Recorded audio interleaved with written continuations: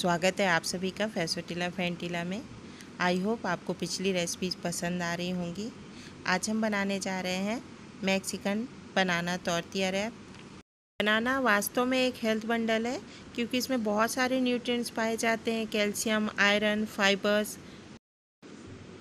देखें तो बनाना एकदम इंस्टेंट एनर्जी का सोर्स है। तो आज हम इसमें यूज़ करेंगे थोड़ा चॉकलेट का। तो जो बच्चे ऐसे ही फल खाना पसंद नहीं करते हैं, बनाना शेक भी पसंद नहीं करते हैं, वो भी इसे बड़े चाव के साथ खाते हैं। बस यहाँ पर एक चीज़ का हमें ध्यान रखना है कि जब भी हमें खाना है, तभी इसे तुरंत बनाएँ। क्योंकि अगर हम इसे बहुत देर पहले बनाकर रख लेते हैं तो ये काले पड़ जाते हैं। तो चले अब हम शुरू करते हैं अपने बनाना।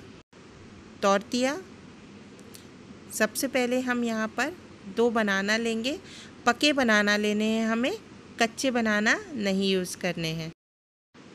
और बनाना जितने भी आप ले रहे हैं, प्रत्येक बनाना के हिसाब से दो से तीन चम्मच आप यहाँ पर आटा या मैदा यूज़ करेंगे।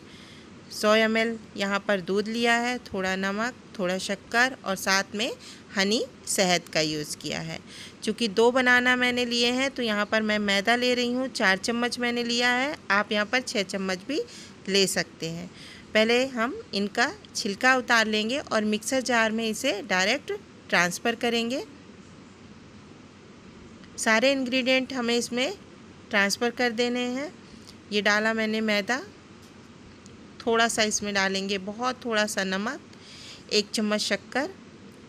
बहुत अच्छा कलर देता है शक्कर इसके साथ। और दो चम्मच शहद। अगर आप शक्कर नहीं डालना चाहते हैं तो स्किप करके एक चम्मच शहद और डाल दें। हंड्रेड एम दूध इसमें ट्रांसफ़र किया। अब यहाँ पर चार से पाँच दाने काली मिर्च के डालें, चाहे तो आप इलायची भी डाल सकते हैं। और आधा चम्मच यहाँ पर बेकिंग पाउडर ऐड कर रहे हैं। और बनाना के साथ में नारियल का बहुत अच्छा कॉम्बिनेशन होता है। तो यहाँ पर एक चम्मच हमने डाला है नारियल का बूरा बस अब ढक्कन बंद करेंगे और हम इसका पेस्ट बना लेंगे। एकदम स्मूथ पेस्ट बनाना है हमें। और अगर आप केवल बनाना फ्लेवर के लिए यूज़ कर रहे हैं तो यहाँ पर दूध और मैदा ज़्यादा भी डाल सकते हैं। मैं न्यूट्रिशन के हिसाब से ले रही हूँ, इसलिए मैंने बनाना और मैदा कम लिया है और बनाना ज़्यादा लिया है। देखिए, इस तरह से बन चुका हमारा पेस्ट इसे हम ट्रांसफ़र कर लेते हैं एक बर्तन में।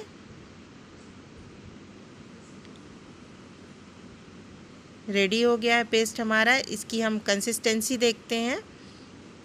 देखिए, एकदम रनिंग है, इतनी ही रखना है। और अब हम एक पैन चढ़ाएँगे गैस पे और इसे ग्रीस करेंगे। मैंने यहाँ शुद्ध घी का यूज़ किया है। आप बटर का रिफाइंड ऑयल का यूज़ कर सकते हैं। अब हम अपना बैटर इस पर डालेंगे। आप अगर मोटे बनाना चाहते हैं तौरतिया तो इसे ऐसे ही डला रहने दें। चाहें तो आप इस तरह से पैन को हिला करके स्प्रेड कर सकते हैं, फैला सकते हैं। तो ये आपके पतले बनेंगे और आप चाहें तो जैसे आप डोसा बनाते हैं, वैसे ही चम्मच से इसे फैला सकते हैं। ये इतना बढ़िया बैटर होता है कि आप जितना पतला चाहें, जितना मोटा चाहें, आप इसे बना सकते हैं। तो ये आपकी पसंद के ऊपर है। आप जितना भी पतला चाहें, उतना भी रेडी कर सकते हैं। देखिए। इसमें कितनी बढ़िया जाली आ रही हैं। और इसमें जो जाली आ रही है, वो इस बात को प्रूव करती है कि हमारा बैटर जो है, वो बहुत ही अच्छा बना है। बस, अब थोड़ी देर बाद हम इसे साइड से थोड़ा सा उठाकर देख लेते हैं। देखिए, गोल्डन ब्राउन दिख रहा है, इसे हम पलटा लेंगे। और दोनों तरफ़ हमें इसे अच्छी तरह से सेकना। आप चाहें तो यहाँ पर थोड़ा सा बटर और लगा सकते हैं। मैं यहाँ पर नहीं लगा रही हूँ। कम बटर का यूज़ कर रही हूँ। देखिए, दोनों तरफ़ हमने सेक लिए हैं और अब इसे हम प्लेट में निकाल लेंगे। देखिए, कितना बढ़िया कलर है और इसी तरह हम सारे अपने तौरतिया बना लेते हैं। रेडी हो गए हैं। यहाँ पर चार से पाँच तौरतिया बने हैं हमारे इतने बैटर में। अब आप चाहें तो इन्हें ऐसे ही सर्व कर सकते हैं। सेजवान चटनी के साथ में सर्व कर सकते हैं। बच्चों के हिसाब से बना रहे हैं। तो यहाँ पर एक चम्मच चॉकलेट पाउडर में थोड़ा सा दूध ऐड किया है और देखिए इस तरह से ये हमने चॉकलेट सिरप रेडी कर लिया है। चाहे तो यहाँ पर आप न्यूट्रिला का यूज़ भी कर सकते हैं। और थोड़े से बनाना हमने एक बनाना को छोटे छोटे पीसेस में कट कर लिया। अब देखिए ये हम चॉकलेट सिरप अपना तौरतिया में फैलाते हैं। पूरी तरह से हमको स्प्रेड कर देना है। इस तरह से अच्छे से। और अब साइड में हम रखेंगे थोड़े से बनाना पीसेस और इन्हें रैप कर देंगे। पूरी तरह से अच्छे से रैप करना है। ये रेडी हो गया है हमारा रैप अब बीच से इसे हम कट करेंगे। देखिए, कितना बढ़िया दिख रहा है ये हमारा। बस ध्यान यही रखना है। मैंने बार बार कहा कि जब हमें खाना है, तभी बनाएँ, नहीं तो ये आयरन की प्रेजेंस के कारण ये ब्लैक पड़ने लगेगा। और चाहें आप तो केवल जो बच्चे बनाना पसंद नहीं कर रहे हैं देख के तो इस तरह से चॉकलेट सिरप लगा करके, इस तरह से रैप करके इन्हें सर्व कर सकते हैं। तो आप इन्हें तीनों तरीके से खा सकते हैं।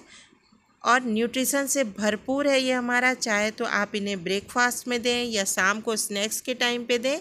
बच्चे हर समय इसे पसंद करेंगे क्योंकि इसमें हमने चॉकलेट भी ऐड किया है साथ में। तो अगर आपको रेसिपी पसंद आती है तो प्लीज़ प्लीज़ प्लीज़ ज़रूर लाइक, शेयर, कमेंट्स करें। चैनल को सब्सक्राइब करते रहें। तो मिलते हैं हम अगली रेसिपी के साथ में। तब तक के लिए स्टे होम स्टे सेफ़ नमस्कार।